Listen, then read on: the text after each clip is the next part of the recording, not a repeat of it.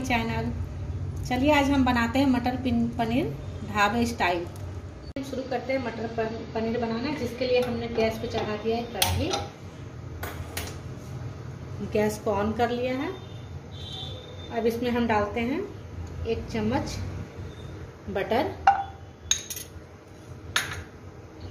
Butter हल्की मेरी गरम हो जाएगी।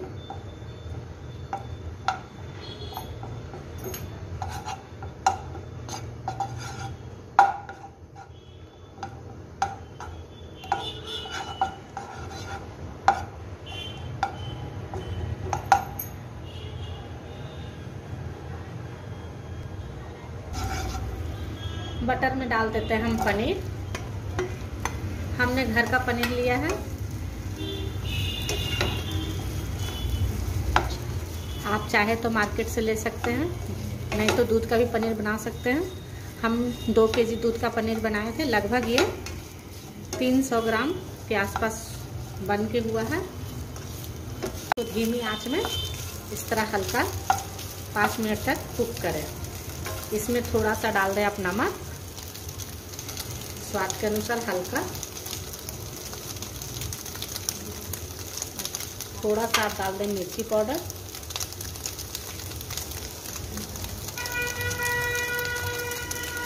इससे टेस्ट बहुत अच्छा आता है। पनीर को हल्का भूंज ले तो। अब इसको धीरे धीरे इस तरह से मिलाएँ। पनीर। देखिए हमारे पनीर हल्का भून चुकी है। इसको अब हम निकाल लेते हैं। एक बॉल में।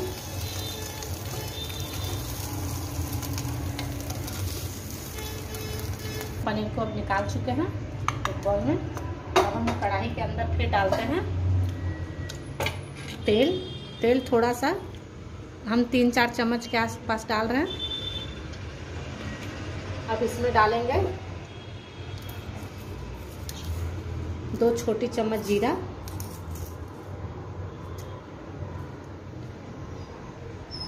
जीरा हमारी हल्का चटक जाएगी।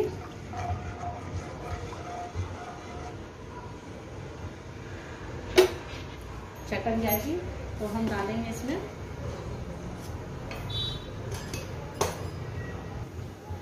देखिए फ्रेंड जीरा हल्का हमारी चटक चुकी है। थोड़ा इसको और चटक भी देते हैं। क्या कस्तूरी मेथी हल्का हाथ से क्रश कर लिए हैं। अब ये थोड़ा हम दरदरा पीस के ले लिए हैं। अदरक, लहसुन, मिर्चा का पेस्ट। इसको हल्का तेल में आप भूंजे। अदरक, लहसुन, मिर्चा, हाफ़ इंच अदरक था। आठ दस कलियाँ लहसुन, तीन हरी मिर्च। इसको हम हल्का दरदरा पीस के ले लिए थे। अब इसमें हम डालते हैं ये बारीक कटी हुई प्याज। हम इसमें तीन प्याज बारीक काट के ले लिए हैं। इसको हल्का बारीक ही काटें। सुनहरे कलर तक आने तक भूंजे हल्के हल्के। हल्के धीमी आँच में सुनहरे कलर आने तक इसको आप कुक करें।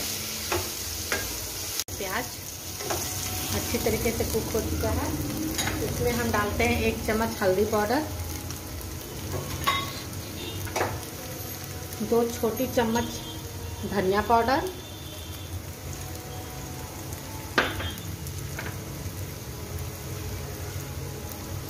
एक चम्मच लाल कश्मीरी मिर्च। इसको फिर हम अच्छे से चलाएँगे।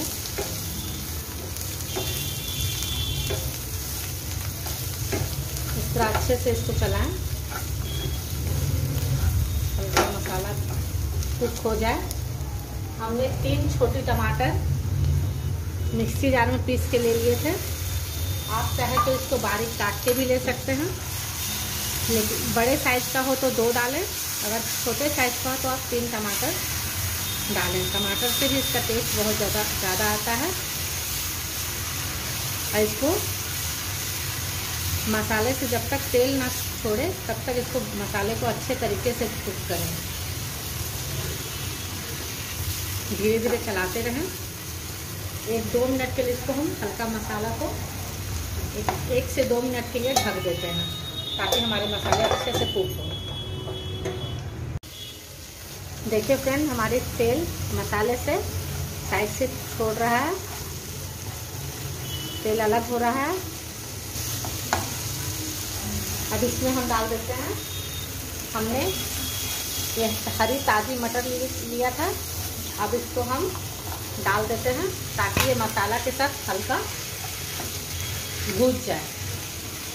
हल्का ये मेरी मसाला भी कुक होगा और मटर भी साथ में कुक हो जाएगा।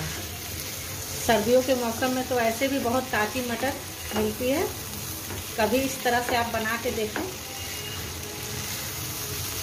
तो अच्छे से इसमें हम डालेंगे थोड़ा सा पानी। इसमें हम डाल रहे हैं थोड़ा सा पानी। थोड़ा ही सा डाल रहे हैं अभी, ताकि हमारी मटर थोड़ा सा कुक हो जाए। इसको हम अच्छे से कुक हो जाए। इसको हम दो से तीन मिनट के लिए ढक देते हैं।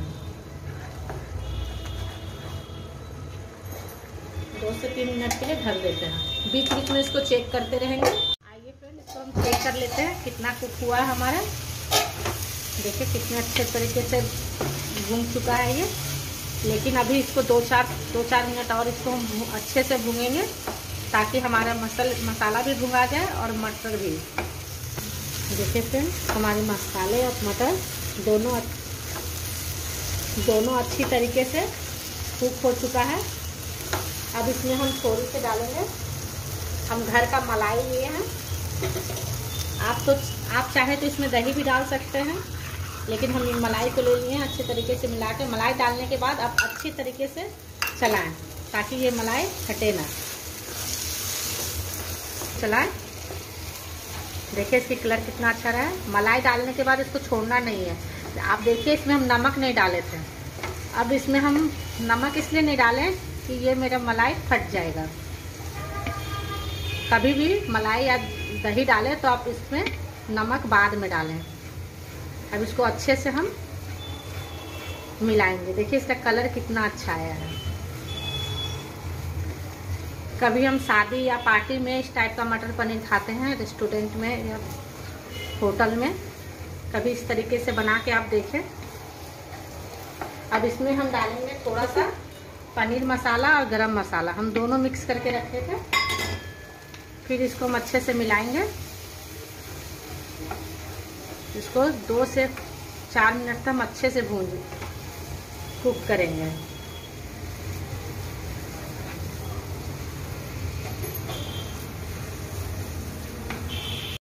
अब इसमें हम स्वाद के अनुसार नमक डाल देते हैं।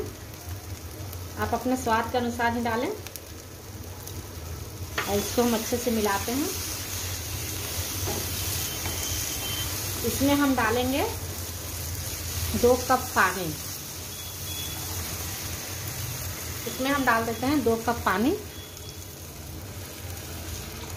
और पाँच मिनट इसको हम ढक देंगे। अच्छे से मिला लें। इसमें जब उबाल आएगा, फिर आपको हम दिखाएँगे।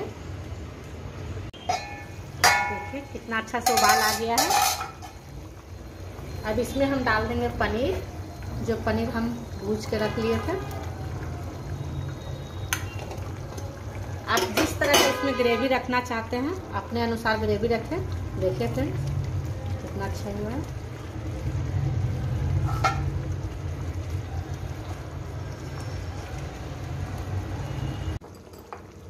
मटर पनीर तैयार हो चुका है। कितने अच्छे तरीके से। अब इसमें हम डाल देते हैं थोड़ा सा बारीक कटा हुआ धनिया पत्ता।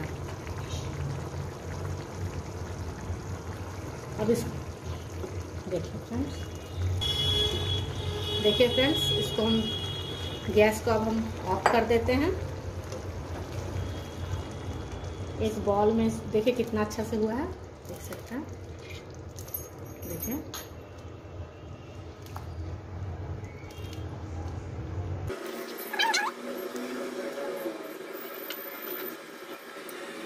देखिए फ्रेंड्स इसका कलर कितना अच्छा आया है। इसको हम थोड़ा सा गार्निश कर लेते हैं धनिया पत्ता से। आप इसको किसी चीज़ के साथ खाएँ। रोटी, पराठा, नान राइस देखिए फ्रेंड्स हमारा मटर पनीर बनकर तैयार हो चुका है। अगर ये वीडियो आपको अच्छा लगा तो लाइक सब्सक्राइब शेयर करें। तब तक के लिए टेक केयर फिर मिलेंगे एक नई रेसिपी के साथ। बाय